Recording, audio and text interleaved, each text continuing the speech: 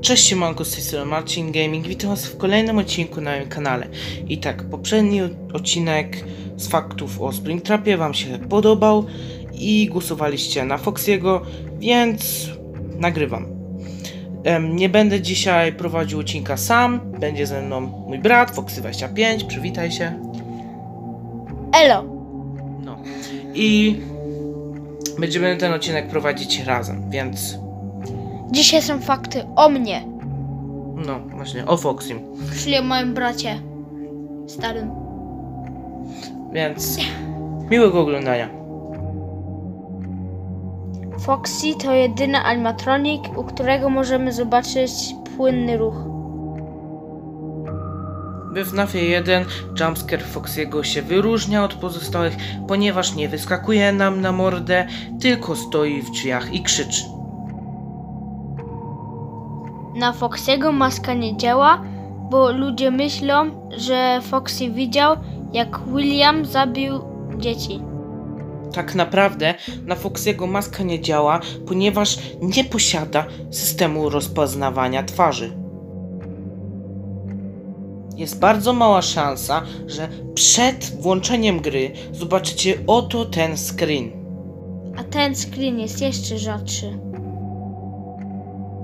Gdy Scott pokazał nam ten screen, każdy pomyślał, że właśnie Foxy spowodował The Bite of 87, ponieważ on jest ostatni. On jest tą osobą, która kończy pytanie.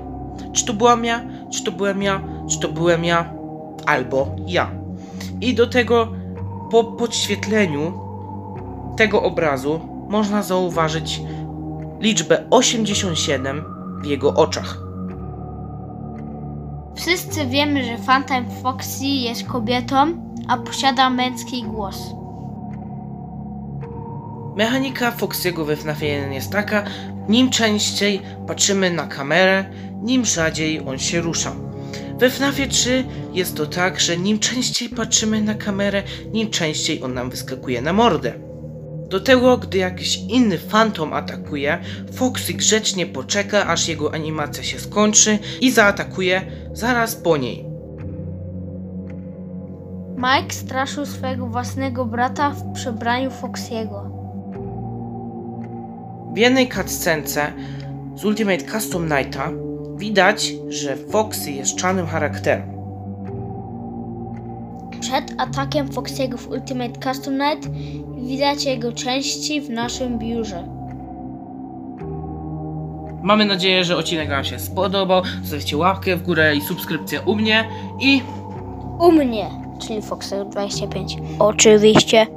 no, więc linka macie w opisie do kanału Foxiego i trzymajcie się, pa, cześć, pa.